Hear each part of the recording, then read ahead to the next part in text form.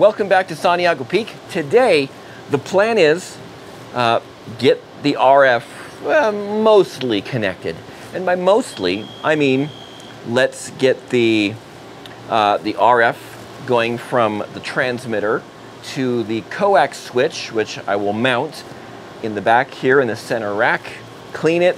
I have a, a, a shelf that's over there that I need to also clean. I have my simple green and rags and water and all kinds of fun stuff.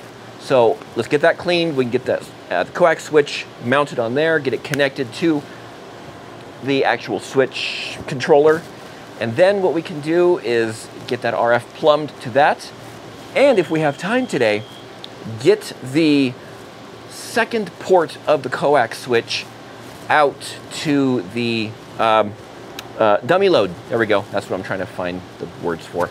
So that's the plan. Let's um, let's go. see what we can get done.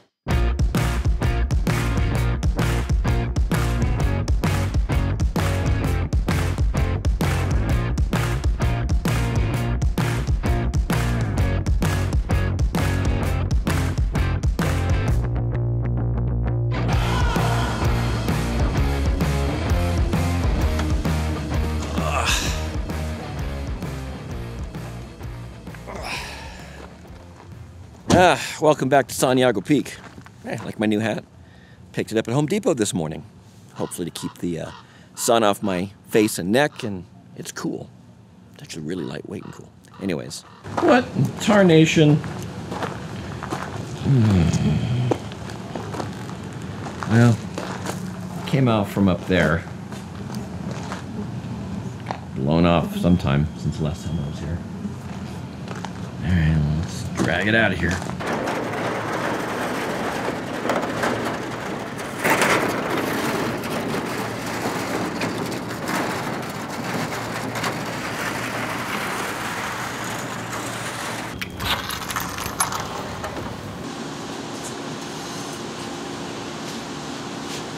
Ugh.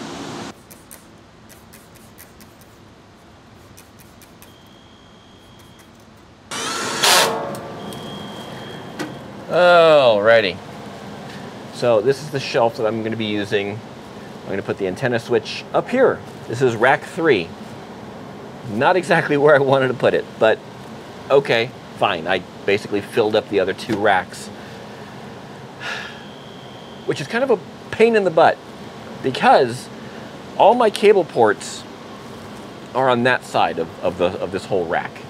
And so now I've got to run my cable that comes in to the, or goes out to the tower basically, all the way across over here to this. Because I already nailed down everything on the left side over there. All right, let's talk about one cool device that we have, and that's this. This is the coaxial switch. And you'll see that it has four ports on it. And uh, well, this is uh, something else, but one, two, three, four. Two of these ports are for the two transmitters. And uh, basically you have two inputs and two outputs. And you'll see up here on the top. So you have two inputs, two outputs. And you basically go connecting, you know, uh, for example, here, let me hold it this way. So it'll connect either uh, port one to port two or port one to port four. So, and vice versa. So while port one is connected to port two, port three is connected to port four. So let's say this one is our main transmitter, this is our backup transmitter. Uh, this goes up to the antenna, this goes up to the antenna, and this goes down to the dummy load. So in this situation, the main transmitter would be connected to the main antenna, and the backup transmitter will be connected to the dummy load. So, yeah, it's pretty hefty. It's got a big motor in it. And uh, yeah, all the control cables. All right, let's, we're gonna stick this up there in that rack on that shelf that I just put in. So I have all the cables here. I'm gonna run these down back the back side. So I have power because this thing runs on power. I have status, which runs to uh, the status panel in the next uh, rack over. And then I have interlock. And these are going to go into my uh, remote control system down here, which will then go to my transmitters. So you don't want to be transmitting RF while you switch. So you can't switch your, your RF under power, your coax under power. So your transmitter has to turn off for however long it takes for the switch to turn, and then you can bring it back up. And the easiest way to do that is with the interlock uh, on the backside. Now, interlock is a safety feature of transmitters, and what it basically does is uh, when that interlock opens, then the transmitter goes, uh-oh, something is not right, I need to shut down.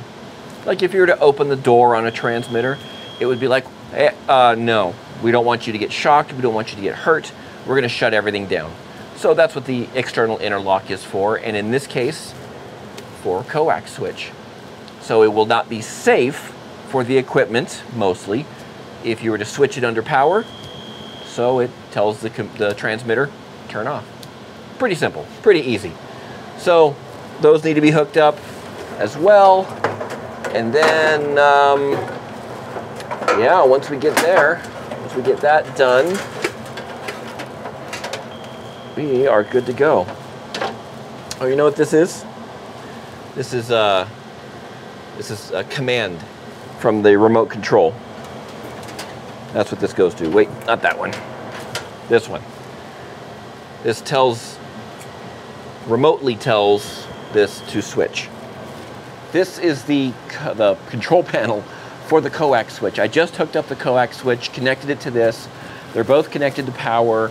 Uh, there's no RF connected to the coax switch, so right now it's just a motor flicking back and forth. But it should work. So right now you'll see it's got a little diagram up here.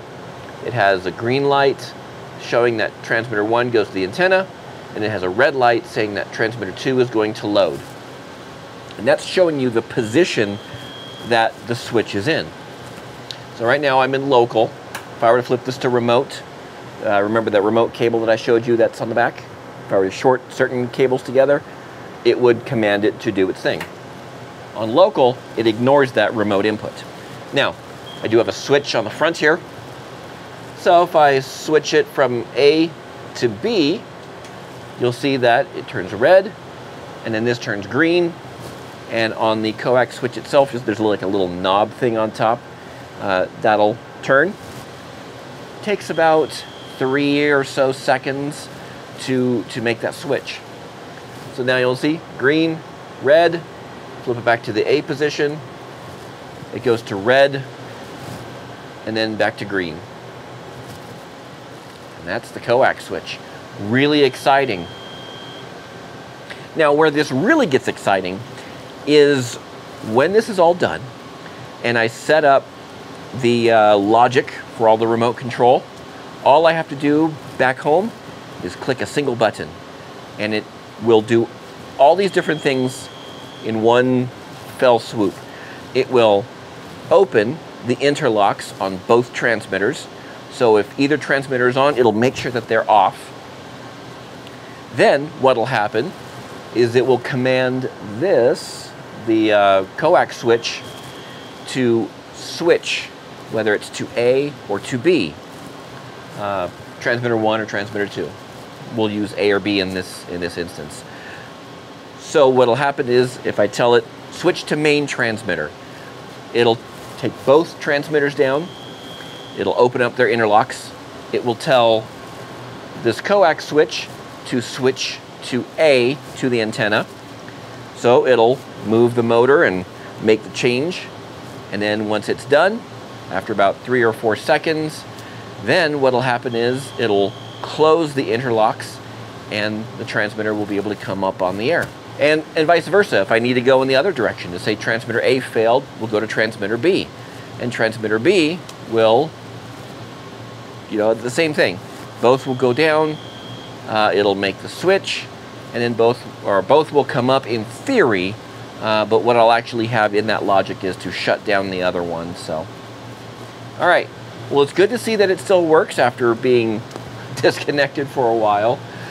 Uh, all right, now to get RF plugged into it, then to get um, remote control and status, and then we should be good to go. It's cut to the length that I need it to for the new main transmitter. And I have all my connectors. Okay. Now, if you recall the making coax video I did, it's kind of important that we have all the pieces.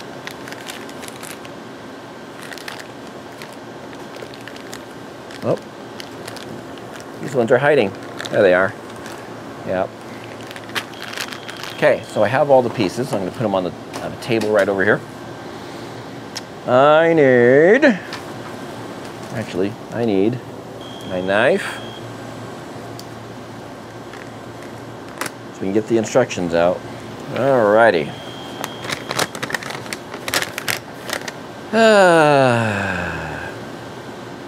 Wait, they have right angle connectors that you could get?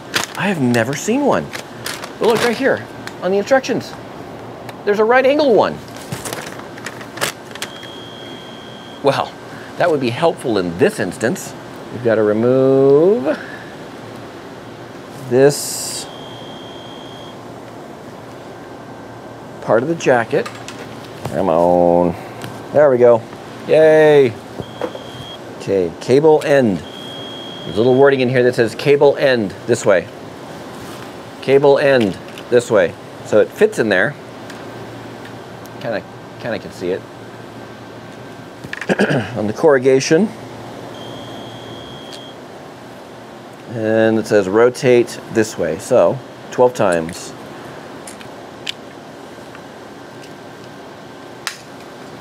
Thank you very much. Okay, might not be able to see it, but right here, it's a little bit scored. Well, it's cut through basically.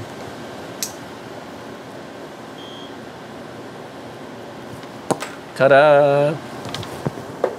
It's the O-ring time.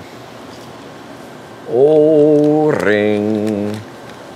Now into the sixth one. So that's one, two, three, four,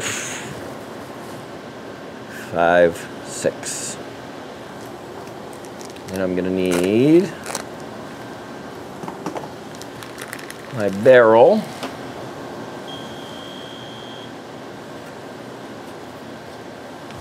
Okay, and then the spring O-ring. Spring O-ring! Sounds kind of funny. And away we go. There we go. Thank you.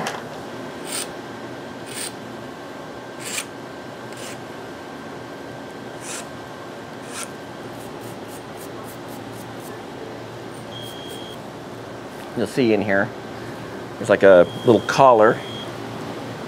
That'll go nicely on here. Now to pull out the wrenches.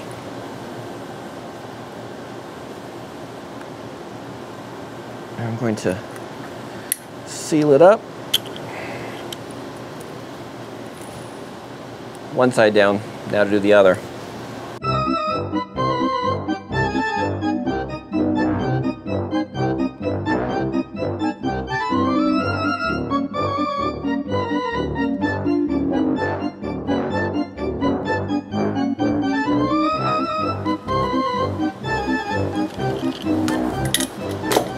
And there we go. Cable's done.